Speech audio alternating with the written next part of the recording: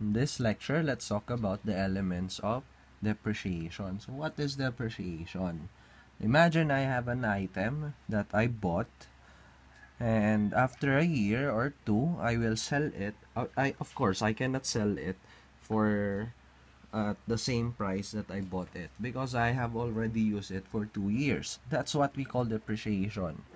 I have here a graph to show that. Uh, let's have the x-axis equal to the time and the y-axis representing the cost. Now, at the start of, of my period, uh, when I buy the item, I have here the first cost which is large and after after the lifespan of the item we represent the lifespan as n we have here the salvage value uh, this this graph this line shows or tells us the cost of our item or our product so as you can see it will degrade the cost as time passes by. So this is the salvage value and this here is what we call the depreciation. Okay? It's it's a distance from the original cost to the salvage value. Now if I have an arbitrary time m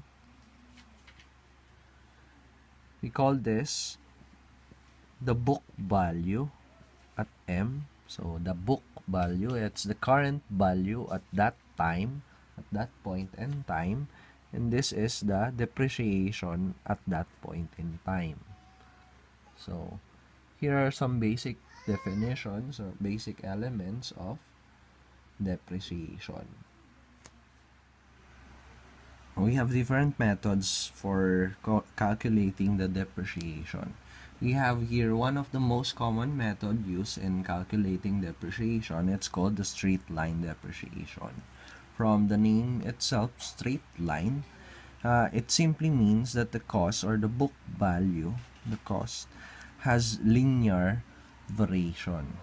So it's a line. The cost, uh, the graph of the cost is a line. So from there, we can see that uh, if this is the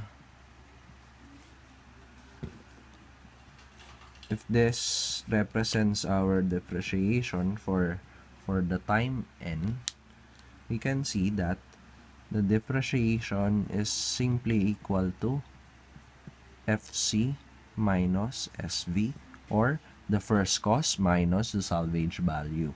Now, if I want uh, since this is a linear variation, if I want to get the depreciation per year, let's represent it as letter D as the depreciation per year. We simply divide divide this quantity by the number of years. So, the depreciation per year is equal to the first cost minus salvage value over the number of years n. From there, we can compute for the value of d sub m. d sub m is the depreciation at time m. So if, if this is time m, the depreciation at that time is simply equal to the depreciation per year times m. So, these three are the basic formulas for straight line depreciation. Let's have an example for the straight line depreciation method. So here's the question. What is the value of an asset after 8 years of use if it depreciates from its original value of $120,000 to its salvage value of 3% in 12 years? Now, to answer this question, first let's identify the givens. We have here 8 years. Okay. Uh-huh. The original value is $120,000. Salvage value of 3%. Salvage value of 3% in 12 years. Now, let me write those down. In terms of our variables, I can see that the first cost, or FC, is equal to 120,000. I can also see that the salvage value is 3%. So, 3% of the first cost, that's 0.03 times 120,000 that means that the first cost is equal to 3 that's equal to 3,600 okay 3,600 now if I go back here in 12 years uh, so I'm saying that the lifespan of my product is 12 okay?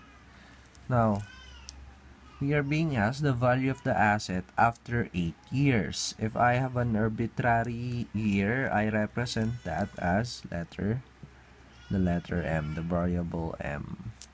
Okay now we are ready. We have our variables from our definition or our equations of the straight line method. The the yearly depreciation is equal to the first cost minus salvage value over n which is equal to 120,000 minus 3,600 over 12 so that's 120,000 minus 3,600 over 12 that is equal to this is equal to D is equal to 9,700 now I want to get uh, the depreciation after m years after 8 years so d sub 8 is equal to, from the equation, d sub m is equal to d times m. So if I substitute 8, d sub 8 is equal to 9,700 times 8. So the depreciation after 8 years is equal to 77,600.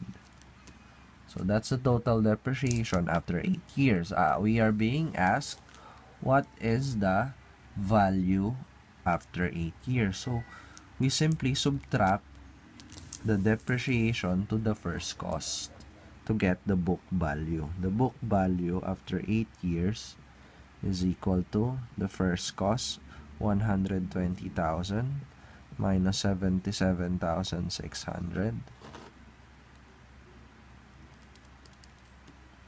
which is equal to $42,400 so that is our book value. That's the value of our asset after 8 years